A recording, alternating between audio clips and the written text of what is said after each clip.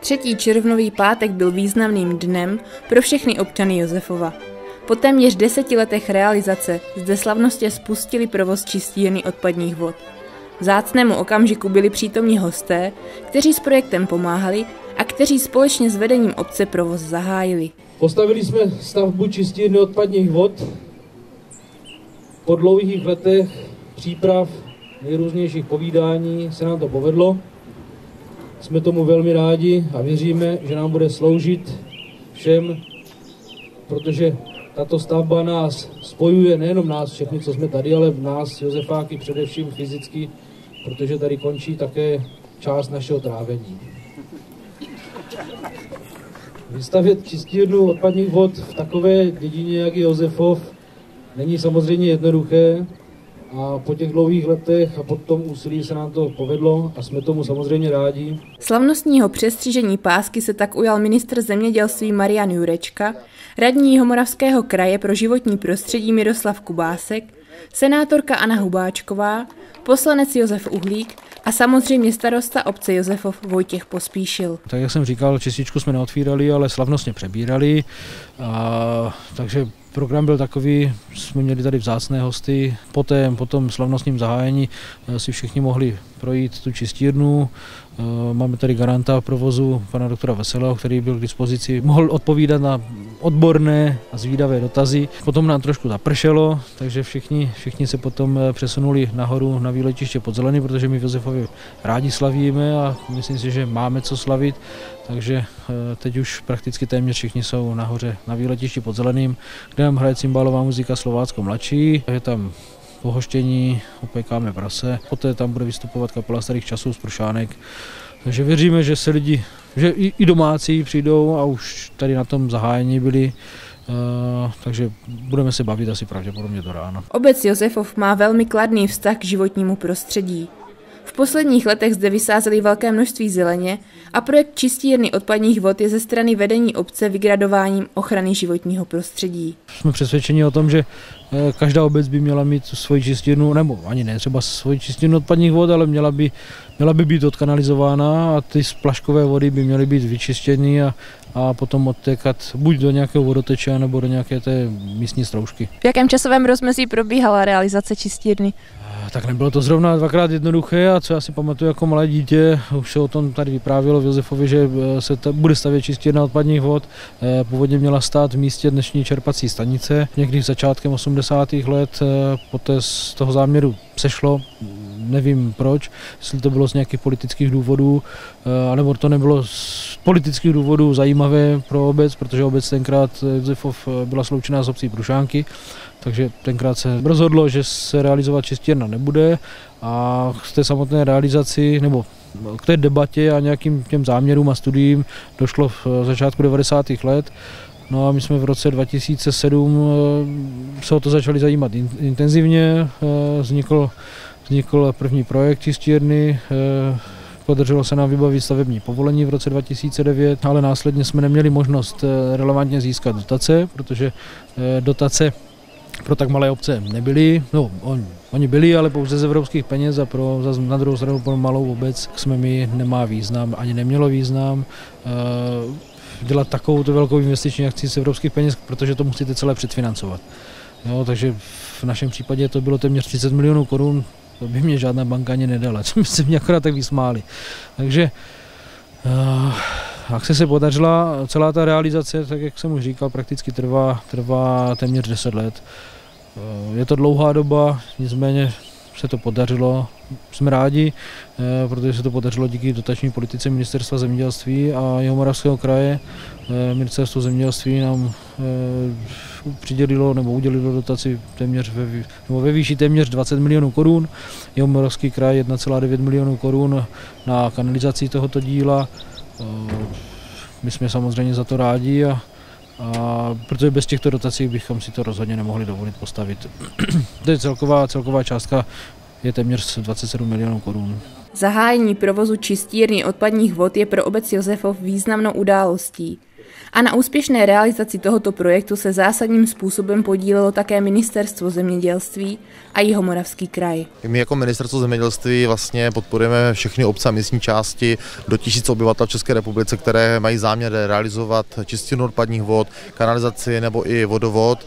Eh, takže eh, Josefov byla jedna z mnoha žádostí, eh, která byla podpořena a vlastně pan starosta se rozhodl nás pozvat na tu závěrečnou fázi toho uvedení do provozu, ale musím říct, že vlastně Ministerstvo zemědělství máme ambici ještě zhruba těch necelých 15% obcí, které toto potřebují dořešit, tak abychom to dokázali příští letech vyřešit.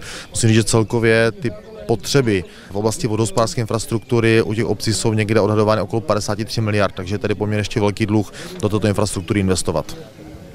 Já se zeptám, nacházíme se na Jižní Moravě, Břeslavsko a Hodonícko jsou okresy, které velmi trápí o problematika sucha. A já jsem se dozvěděla, že ministerstvo životního prostředí o, vypsalo dotaci na dešťovou vodu, která má za cíl naučit občany zacházet o, s vodou. Tak se k této problematice stavíte vy jako minister zemědělství? Také my podporujeme zemědělce zase eh, v té oblasti dotačních titulů na budování závlah, závlahových systémů, strojů pro zavlažování, ale zároveň i pro výstavbu nádrží na právě akumulaci vody pro závlahové systémy. Eh, také se snažíme dneska, aby zemědělci, kteří třeba například dají investice do eh, budov, třeba pro živočišnou výrobu a podobně, tak aby mohli i jako jeden z uznatelných nákladů mít právě to, co má právě ministerstvo životního prostředí, které to má pro obce a pro domácnosti, tak abychom tady toto umožnili i zemědělcům, aby tu vodu mohli akumulovat a využívat zase na ty své potřeby. Takže rozhodně nespíme na Vavřínech, eh, i v této věci se snažíme zemědělcům vycházet stříc a pomáhat jim. Zemědělce také trápí problematika eroze. Jaké dlouhodobé řešení byste navrhoval vy? Ta problematika eroze je docela velkým problémem, obzvláště tady, řekněme, na Jižní Moravě, v té oblasti Kijovska, tam nás trápí především vodní eroze, ale samozřejmě i v těch rovinatých částech Jižní Moravy nás zase trápí větrná eroze. Eh, my ve spolupráci se zemědělci a s odborníky připravujeme teď legislativní změny eh, v tom, kdy se bude jasně vymezovat rámec a to, jakým způsobem se zemědělci mohou na těch eh, silně a středně erozně ohrožených půdách chovat. Takže vlastně těm zemědělcům zpřísníme podmínky pro jejich hospodaření, protože i dneska, i cestou třeba jsem do Josefova, jsem viděl mnoho pozemků s širokořádkovou plodinou jako kukuřice, kde si myslím, že rozhodně takovýmto způsobem ten agronom by na těchto plochách tu kukuřici pěstovat neměl, ale je to vždycky otázka těch konkrétních technologií, které se mohou zvolit jako setí do mulče a tak dále. Takže možnosti pro to, aby zemědělci nebyli zásadně omezeny na výrobě tady jsou, ale potřeba eh, více se chovat podle zásad správné zemědělské praxe. Projekt typu čistírny odpadních vod je pro obec velmi význačným úspěchem a podporu mu vyjádřila také řada hostů slavnostního odpoledne odpoledne. Podporuji úplně každého, kdo se do toho pustí. Nejsou to jednoduché věci. Sehnat peníze, sehnat dobrého projektanta a najít tu odvahu. A já s panem starostou, který do toho byl hodně ambiciozní a hodně se mu chtělo a je to velký přínos pro životní prostředí, tak to mě potěšilo a proto jsem mu pomáhal. Proč jste se rozhodl podpořit tady tuto realizaci a v čem si myslíte, že je tak zásadní čistička pro obec Josefov? Já jsem rád, že se Jihomoravský kraj připojil k této akci, kterou financovalo Ministerstvo zemědělství v části 20 milionů korun.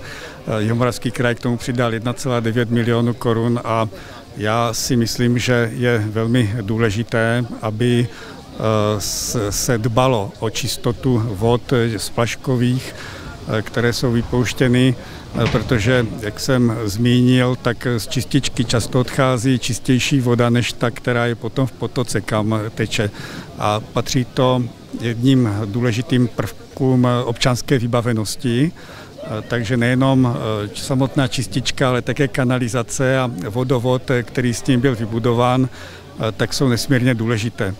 Je dobře, že obyvatele obce snesli ten nepořádek, který je s tím spojený, když se obec rozkope, buduje eh, eh, kanalizace a všechno technické zařízení a nakonec eh, ten krásný výsledek se dostaví. Takže pro, jak pro občany, tak pro podporu ochrany životního prostředí je to nesmírně důležitá věc. Jaký největší přínos vidíte v realizaci tady této stavby pro obec Josefov? No, čističky odpadních vod jsou obecně prospěšné stavby, protože když se vypouští odpadní vody do potoku, do přírody, tak to samozřejmě je problém. Tady vidím velký přínos pro takovou malou obec, že se to vůbec podařilo zrealizovat, protože to není úplně obvyklá věc, aby taková malá obec dokázala postavit tak, takovouto čističku odpadních vod, takže vidím tady v té obci to úsilí, že vůbec se dala dohromady a ty lidi vlastně dokázali eh, udělat to, že ta čistička vznikla. Co jsem se informoval, tak to trvalo více jak 10 let ta realizace, takže o to to je jako obdivuhodné. Realizace projektu byla nelehkou a dlouhodobou záležitostí a tak mohou být Josefovští na úspěšné dokončení stavby patřičně hrdí. Jedním z gestorů čistírny byl poslanec Josef Uhlík, který se oslav také zúčastnil. Ten rozpočet oni mají roční kolem 6 milionů korun a stavba za necelých 30 milionů korun, to je, byla opravdu odvaha. Takže když se do toho pustili, tak rád jsem pomohl v, v rámci možností samozřejmě. Jaké největší přínosy a klady vidíte tady v této čističce? Tak je jednoznačně životní prostředí a určitě zvednutí úrovně té obce jako samotné. Takže eh, to, že to bude stát do nějakou korunu víc občany, si myslím, že se vyplatí v tom, že to životní prostředí se zkvalitní a zlepší v samotné dědině. Nacházíme se na Jižní Moravě, takže se nejde nezeptat, jaký máte vztah k vínu? Máte nějakou svou oblíbenou odrůdu? Samozřejmě, já jsem milovník vína. Eh, mám velice rád silvánské zelené. Zajímavé víno a Sauvignon. Takže víceméně bílá vína. Nějaké červené, ale více té, té bílé odrůdě dávám přednost. O program slavnosti se postarala cymbálová muzika Slovácko mladší a kapela starých časů, které bavili občany Josefova do pozdních večerních hodin. thank you